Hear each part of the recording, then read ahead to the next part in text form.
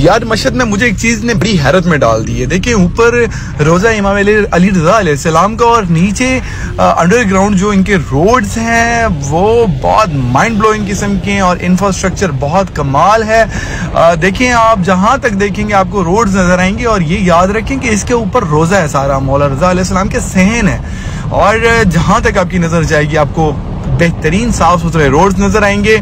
और क्या इंफ्रास्ट्रक्चर है? इंफ्रास्ट्रक्चर का एक लेवल है ईरान के अंदर। और देखा जाए तो टूरिज़्म के हिसाब से ईरान बहुत ही बेहतरीन पॉइंट है घूमने के हिसाब से भी।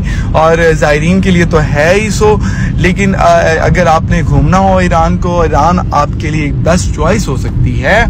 और ईरान के, जैसे कि हर सिटी का एक अलग ट्रेडिशन है, हर सिटी का एक अलग इन्वायरमेंट है। जैसे आप जिस सिटी में जाएँगे आपको अलग से इन्वायरमेंट नज़र आएँगे, अलग से पॉइंट्स नज़र आएँगे, बहुत ही बेहतरीन किस्म के।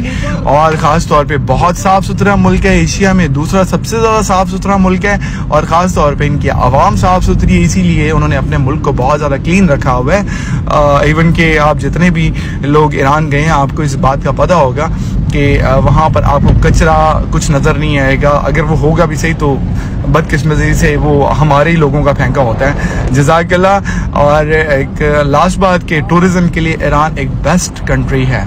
थैंक यू अल्लाह हाफ़ जजाकल्ला